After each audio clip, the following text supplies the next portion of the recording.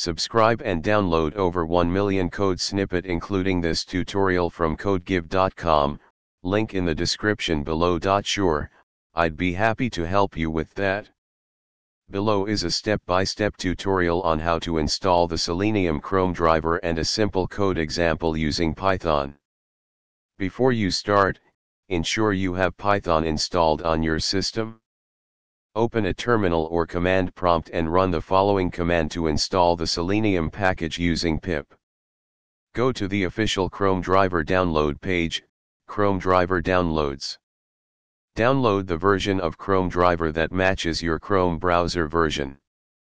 To find your Chrome browser version, go to chrome slash slash settings slash help in the Chrome browser. After downloading the Chrome driver zip file, extract it to a location of your choice. Create a new Python script, example example.py and use the following code as a starting point.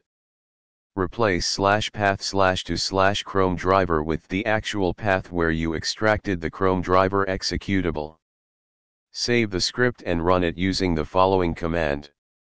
This script will open Google's homepage, enter a search query in the search box, and submit the form.